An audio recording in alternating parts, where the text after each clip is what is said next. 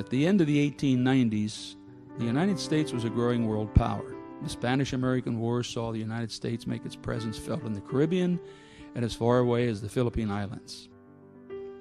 The railroads had united the continental U.S. Industry was booming. Inventors like Edison, Ford, and Alexander Graham Bell, and many others were changing the way people lived and looked at the world. There was also a great sea change in the life of the Church of Jesus in America. Finney, Moody, and others had popularized gospel evangelism with great crusades. The holiness movement drew people from across denominational barriers to godly living. The divine healing movement that started in Europe had come to America. The passion for missions, inspired by Carey and Taylor, had fired the church with a vision for the lost. Into this larger story comes that of a Canadian Presbyterian pastor who eventually arrives in New York City. His name is A.B. Simpson. While pastoring a fashionable church, he sees the lost of Little Italy and he reaches them with the gospel.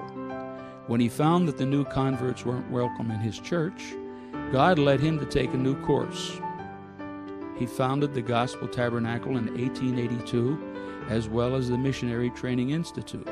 And Simpson began to spread the fourfold gospel message of Christ, Savior, Sanctifier, Healer, and Coming King, to all that he met. He began to share a vision for Great Commission ministries that touched the whole world.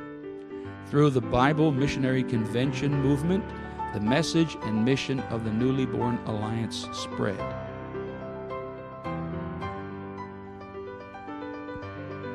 Into this larger narrative is woven the story of two Wilmington businessmen, Ashton R. Tattnall and John Conley. In the late 1890s, Wilmington had a population of about 60,000 people and was a busy, prosperous industrial and commercial center. Tattnall and Conley were both godly Christian church members who heard about Simpson's conventions. They rode the train to New York and were soon captivated by the vision and message of reaching the regions beyond with the full gospel message of Jesus. They returned to Wilmington with a conviction that a branch of the Alliance should be formed in their city to promote the mission and message of the Alliance. On July 7, 1897, the first meeting was held in Tattnall's home on 1403 Jackson Street with 16 charter members. During these early years, like the wilderness wanderings of Israel, the little band moved several times. In 1898, they met at the Red Men's Lodge at Delaware Avenue and Scott Street. 1901 saw them move into a storefront on 610 Lombard. Then another storefront with more room was found at 7th and Lombard. In 1909, they actually purchased a building at 504 Shipley Street, and they remained there for a few years. In 1915, they moved into their first permanent church at 504 West 5th Street. The church was ably led by Tattnall and Conley through the first years, inviting Reverend G. Verner Brown in 1901 to be their first pastor. This godly man led the church for 10 years, then became a district superintendent and later home secretary of the Alliance. Brown was followed by Reverend John Cox, one of the original members, who pastored from 1911 to 1915. His daughter Sarah was sent out as one of the early Alliance missionaries in 1899. Reverend Cox left the Wilmington Alliance to start the First Assembly of God Church in Wilmington in 1917 and was followed by Reverend H. M. Shuman, who later became the president of the CMA. Reverend Shuman is the one that moved them into their new building at 504 West 5th Street. From the beginning, the Wilmington Alliance's DNA had several outstanding characteristics. They were a people of fervent prayer, prayer meetings well attended by all ages, all night prayer vigils. Sacrificial giving to missions was evident from the first. Their first registered uh, missionary offering taken in 1897 was over $1,000 which would today be the equivalent of about $32,360. The whole church was involved in evangelism and outreach. The Sunday breakfast mission was a major outreach of the congregation. There was a strong youth ministry, lay led, which involved the young people in all facets of church life.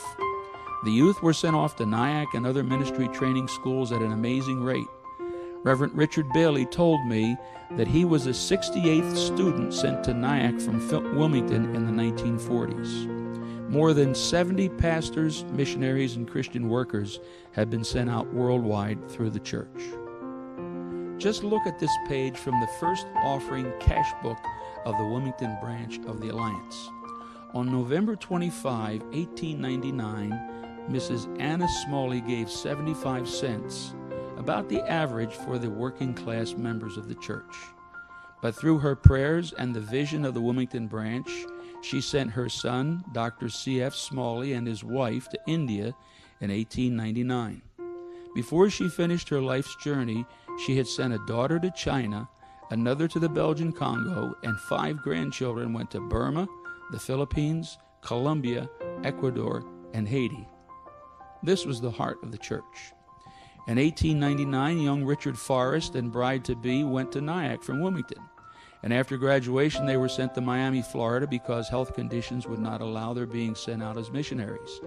Eventually, Simpson asked Forrest to begin a work in Atlanta, Georgia, which he did. In 1909, Ashton Tatnall left Wilmington and took over the work, and Forrest began what, what came to be the Toccoa Falls College. God was using this young, growing church in amazing ways. The church became known as a place where people were healed and lives redeemed. We have two documented cases of men who came on crutches and were healed and walked out whole. The blind were given sight, and the deaf regained their hearing. Alcoholics found Christ, were delivered, and became model citizens and ardent church members. Homes were put back together, and the church counted with the favor of the city. The growing congregation took very seriously its responsibility to teach and disciple the believers to make them true disciples of Jesus Christ. Sunday school perfect attendance pins were highly coveted by young and old. Some maintained perfect attendance, never missing a Sunday for five, ten, or up to 20 years. There was a unique Sunday school class in Wilmington called the Young Men's Class in the Corner, and it was led by two ladies, Minnie Willers and Jenny Matthews. It was later called the Will Math class. These two women taught a large class of single and later married men for years. The Wilmington Alliance sent out many pastors and missionaries who were amazingly used by God. One of the unique stories is that of Reverend Marion Griebenow and his wife Blanche, who was the sister of Minnie Willers. The Griebenows were CMA missionaries to Tibet, serving from 1922 to the communist takeover of Tibet in 1949. During their years of ministry in this wild country, oppressed by Buddhism that saw one fourth of the male population living as monks in the multitude of monasteries and temples, the Griebenows had a great challenge. Demonism was rampant. The religious government was corrupt and oppressed the people. On one occasion, the Griebenows received a nomad band's chief who had his stomach sliced open in a knife fight. They washed his protruding intestines, pushed them back into the cavity, sewed him up, and gave him what medicine they had, and then they prayed. Two weeks later, he was able to leave their home. When he was ready to attack those who had wounded him, Griebenow preached Christ's message on forgiveness, and the man relented. The seed was planted. In 1937, Griebenow was able to teach English and photography to one of the living Buddhas and secretly gave him a Bible and thoroughly evangelized this young boy whose role was to rule the souls of men. Only time will tell final results of this missionary family that went on to serve in Israel and Hong Kong until retirement.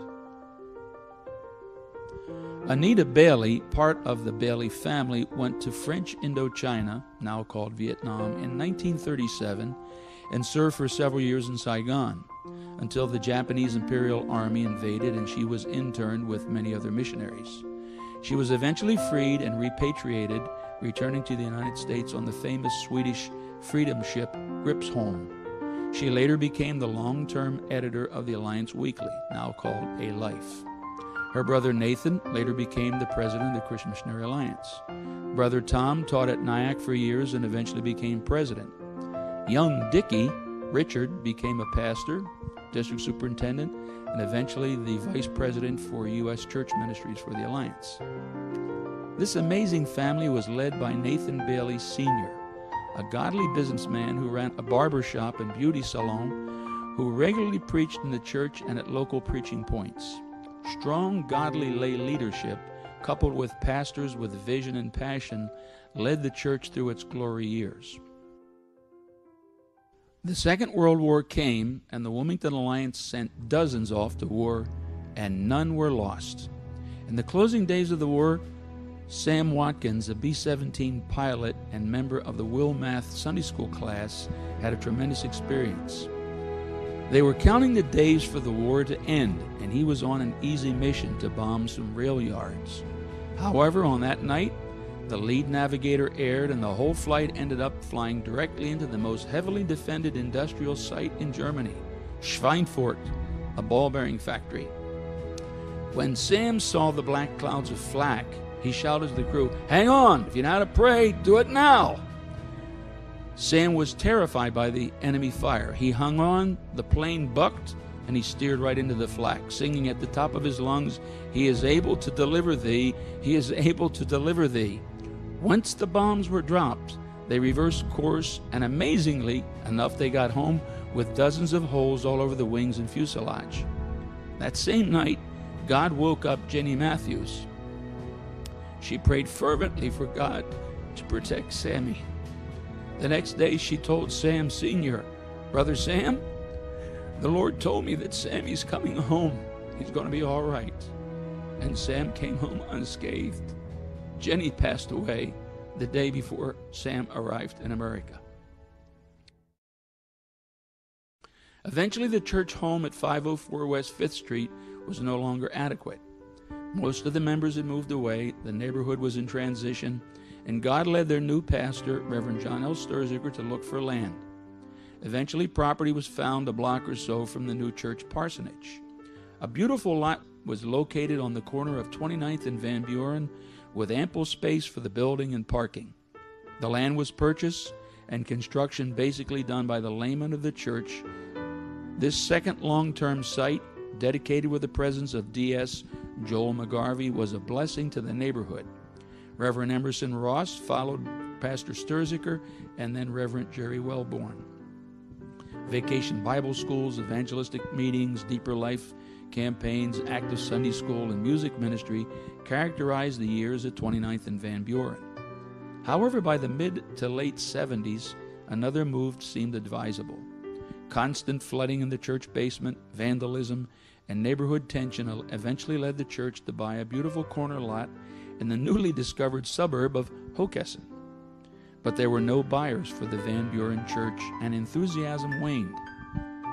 Then the Lord brought Reverend Robert Slane to the church in 1978. At a pastor's retreat, God gave him a deep sense of assurance to believe that the property would be sold very soon. And there begins another story. When he arrived back in Wilmington on the very next day, a very tall, distinguished African American pastor came in. His name was then Reverend Thomas Weeks, and he asked if the church was for sale, even though there was no sign out front. With that rapid answer to prayer, Pastor Slane said yes and began to work with Pastor Weeks. His newly founded church did not have sufficient credit with the banking system to be able to get a mortgage.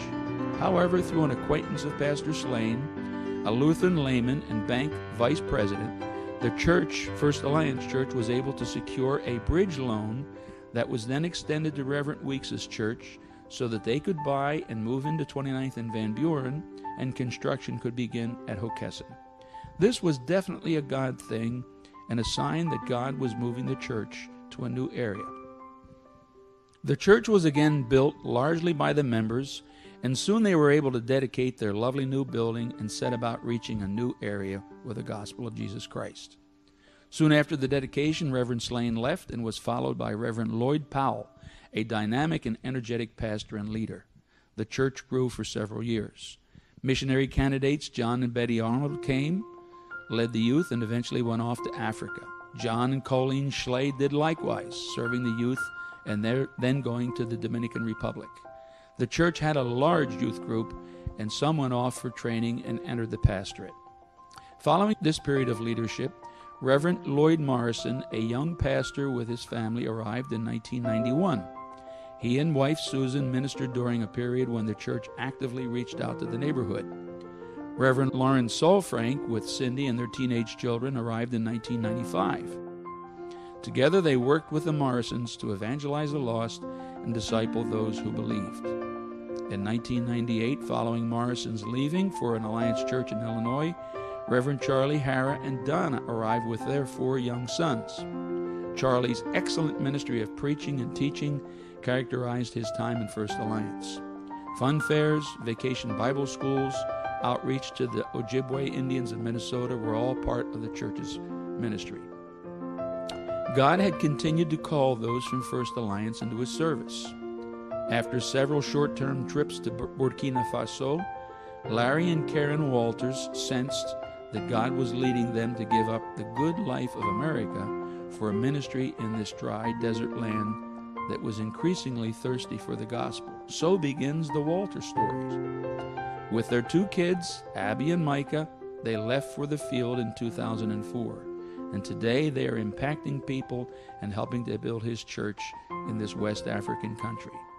Then Fred and Josie Firstbrook, longtime First Alliance members and highly involved in the life of the church, returned to China in 2005 to take up their ESL ministry, teaching English as a second language. This is something they had tasted several years before. Today, with their daughter Becca, they minister the, gos- the gospel to bright Chinese students who will lead their country in the future. Randy Jones, another member of First Alliance, has been in China since 2001 doing ESL ministry, and he continues there today. These are all signs that the original missions hearted DNA of the church continues to be felt in the body. Following Pastor Hara's leaving for a church in New Jersey, Dave and Judy Jones were called from Brazil to lead First Alliance. Still assisted by Pastor Lawrence Saul Frank, and then with the coming of Pastor Chris and Faith Mercurio. Together, they're reaching the lost in Hockessin. These last few years have been challenging, with the church going through a period of healing and renewal. The twin emphasis of becoming a Great Commission church fueled by a movement of prayer are paramount. We continue with Vacation Bible Schools, the Minnesota Mission to the Ojibwe, Angel Tree, Art Camp, and Awana. These are all efforts to reach families that are lost near and far. First Alliance continues to be a church that loves to support missions recognized by the Christian Missionary Alliance. Our missions festivals are a high point in the church year. Great Commission Sundays regularly emphasize different people groups that need the gospel. And partnering with the Mid Atlantic District and New Life Alliance Church of Newark, we're helping support the church planting efforts of Ty and Brandy McMillan and their urban impact ministry. As we tell these stories, and as we remember and rejoice, we also recommit to those core values that characterize the founding of the church fervent prayer for lost people everywhere, Great Commission commitment to the whole world, strong financial investment in world evangelization, a continued commitment to teach and disciple those that believe and receive Christ through our local efforts, and a vision to reach the unreached from Hockessin, Delaware, to Hanover, Germany, to Hanoi, Vietnam, and everywhere in between. This is our purpose, and this is our prayer.